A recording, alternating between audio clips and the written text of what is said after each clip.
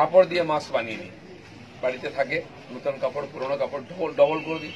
পুরোনো কাপড় হলে মায়েরা হাত দিয়ে সেলাই করে করে দেবেন যাতে অবশ্যই বাচ্চাদের অভ্যাস করুন, বাড়ির বাইরে গেলে মাস্ক পরে থাকুন। আর কিছু বলার নেই? সবার সঙ্গে দেখা করার ইচ্ছা ছিল। সবাই ভালো থাকুন, সুস্থ থাকুন। গত বছরটা আমরা খুব কষ্টে কাটিয়েছি। দেখা করতে পারিনি, কথা বলতে পারিনি, কোথাও যেতে পারিনি, খাওয়া দাওয়া করতে পারিনি। আয় উপায় কমে গেছে। অনেক লোকের খুব কষ্ট হয়েছে। মায়েদের কষ্ট বেশি, তারা সবাইকে রান্না করে তিনি আমাদের বাড়িতে চাল ডাল পাঠিয়েছিলেন। পাঁচ কিলো চাল, এক কিলো ডাল। ডাল ফাল এখানে চুরি হয়ে গেছে। কিন্তু লোকে খেয়ে পরে বেঁচে দেশে একটা লোকও অনাহারে মারা যায়নি। তারপর উনি দেখলেন, চাল ডাল দিলে তো হবে না, রান্নাটা কি করে করবে? গ্যাসের সিলিন্ডার দিয়েছেন। যারা উজ্জ্বলা যোজনায় গ্যাস নিয়েছিলেন ফ্রিতে, তাদের ফ্রিতে সিলিন্ডার। আবার শুধু চাল ডাল দিয়ে কতদিন চলবে? তো মশলা চাই, সবজি চাই। তা উনি বলেন ঠিক আছে, পাঁচশো টাকা দেওয়া হবে। আমরা যখন বাড়ি বাড়ি গিয়ে বলেছিলাম, জনধন অ্যাকাউন্টে অ্যাকাউন্ট খুলুন, পয়সা লাগবে না। সিপিএম কংগ্রেস টিএমসি লোকেরা বলছে, পয়সা নেই তার অ্যাকাউন্ট খুলে কি হবে? এরকম বলেছিল। যারা ওদের কথা শুনেছিল, তারা গোল্লা খেয়েছে। আর যারা আমাদের কথা শুনে অ্যাকাউন্ট খুলেছিল, কুড়ি কোটি মহিলাকে মাসে পাঁচশো টাকা করে তিন মাস দিয়েছেন প্রধান। কি দিয়েছেন কিনা?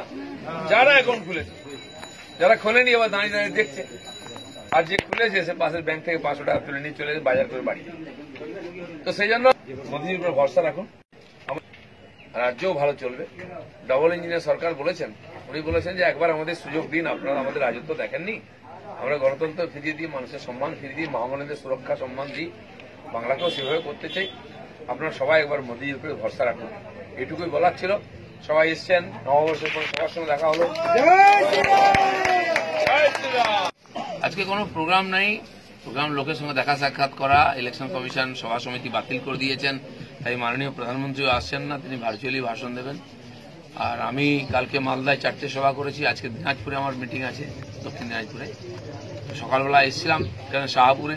স্থানীয় লোকেদের সঙ্গে দেখা করতে, নববর্ষের শুভেচ্ছা জানাতে এবং করোনা সম্বন্ধে সবাইকে সতর্ক করার জন্য এসেছিলাম। সবার সঙ্গে দেখা হলো, আমরা চা খেলাম একসঙ্গে। ব্যাস, এইটুকুই প্রোগ্রাম ছিল। কমপ্লেন করেছি, অজ্ঞাত যারা গুলি চালিয়েছে, তাদের বিরুদ্ধে পুলিশ ভাবছে। তারা তদন্ত করছে, এখনও কাউকে ধরতে পারেনি।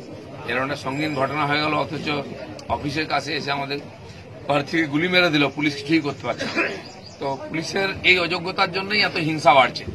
আমরা আশা করব বাকি দুটো ফেজ নির্বিঘ্নে ভোট হবে। মানুষ তো ভোট দিচ্ছেন বেরিয়েছে। মানুষ ভয় করছে না।